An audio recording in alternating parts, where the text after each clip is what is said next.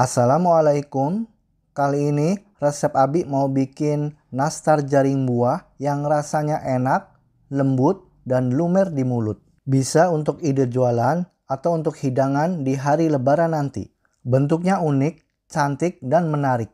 Mau tahu cara buatnya? Tonton aja videonya sampai selesai.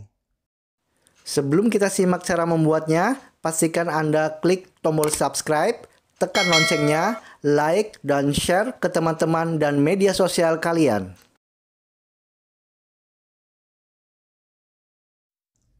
Untuk cara membuatnya, bismillah. Pertama-tama kita siapkan 150 gram margarin, masukkan ke dalam wadah adonan, lalu masukkan 100 gram gula halus. Untuk gulanya kita saring terlebih dahulu ya supaya tidak ada grindil atau gumpalan-gumpalan. Kemudian ini akan kita mixer sampai gula dan margarinnya tercampur rata sehingga membentuk tekstur yang halus dan lembut.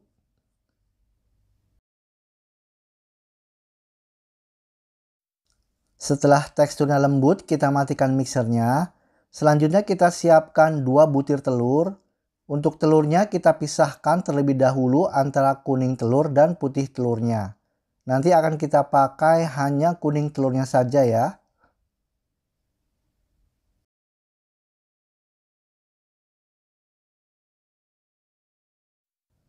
Masukkan 2 butir kuning telur.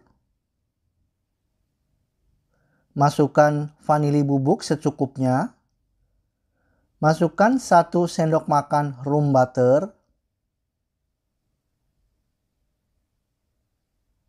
Lalu kita mixer sampai semua bahan-bahannya tercampur dengan merata.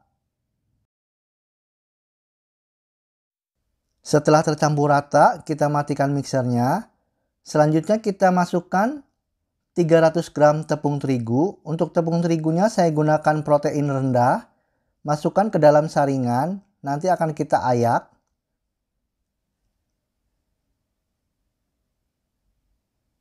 Masukkan sebagian lagi supaya tepung terigunya nanti tidak ada gumpalan atau grindil-grindil ya. Jadi tekstur terigunya itu halus. Selanjutnya kita mixer. Oh iya maaf pemirsa ada yang kelupaan. Untuk maizenanya sebanyak 30 gram kita masukkan. Seharusnya bersamaan dengan tepung terigu tadi ya. Lalu masukkan juga satu saset susu bubuk instan. Baru kemudian kita mixer sampai tercampur dengan merata. Dan setelah teksturnya seperti ini, kita matikan mixernya. Selanjutnya akan kita aduk saja menggunakan tangan yang dilapisi hand glove atau sarung tangan plastik sampai adonannya tercampur dengan merata ya.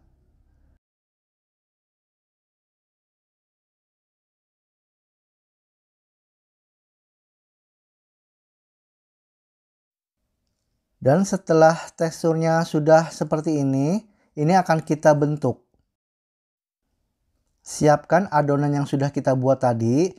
Lalu siapkan juga loyang yang sudah dilapisi kertas roti atau baking paper.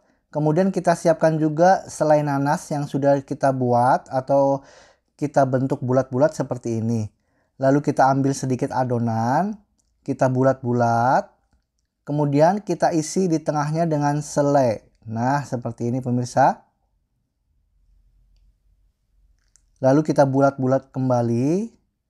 Kemudian kita ambil jaring buahnya seperti ini. Tempatkan di dalam.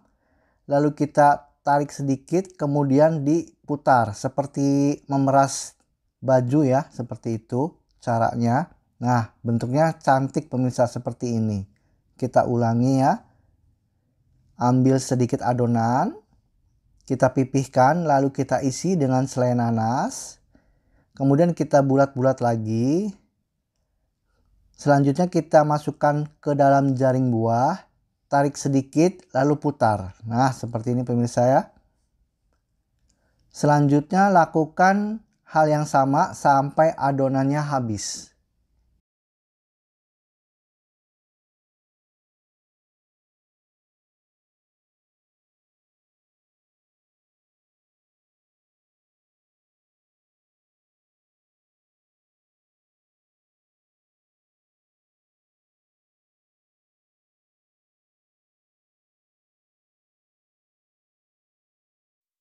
Dan setelah selesai dibentuk semua seperti ini, ini akan kita panggang menggunakan open tangkring. Untuk pemanggangan pertama ini saya panggang selama 20 menit.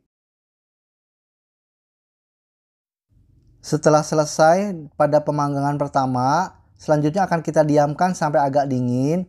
Sambil menunggu dingin kita siapkan dulu untuk olesannya. Siapkan satu butir telur, kemudian kita pisahkan antara kuning telur dan putih telurnya. Dan untuk olesan ini saya gunakan hanya kuning telurnya saja.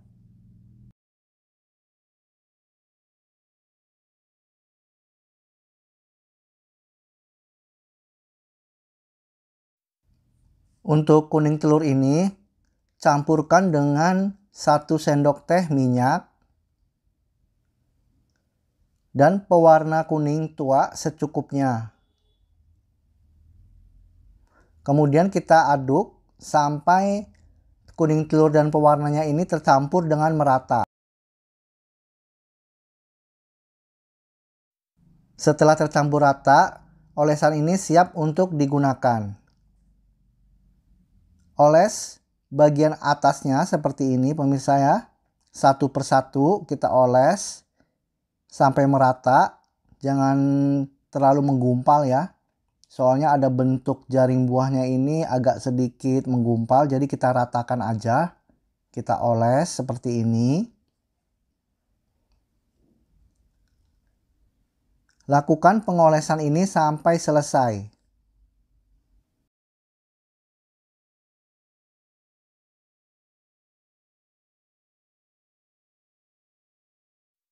Setelah selesai semuanya dioles seperti ini, Kemudian ini akan saya panggang kembali. Untuk panggangan kedua ini saya panggang selama 10 menit. Dan setelah selesai matang dipanggang, kemudian kita ambil satu persatu, kita tempatkan di cooling rack seperti ini. Untuk teksturnya cantik pemirsa ya, terlihat cerah kuning telurnya ini bagian bawahnya juga nggak gosong sudah matang. Akan kita lihat tekstur bagian dalamnya. Wah benar-benar renyah dan lembut pemirsa ya. Selain nanasnya juga terlihat wangi dan enak. Terima kasih pemirsa atas perhatiannya. Sampai jumpa di video saya berikutnya